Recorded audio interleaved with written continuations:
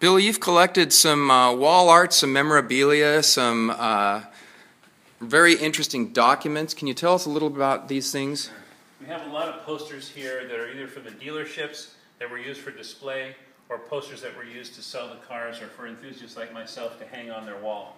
We've got a lot of things from the 928, the 911, uh, newspaper articles as well as magazine articles.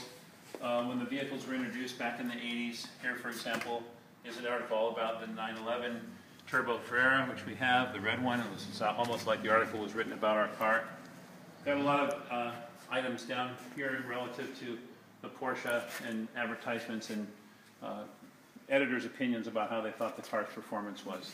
So try to match up the articles with the vehicles I had so the collection would be complete.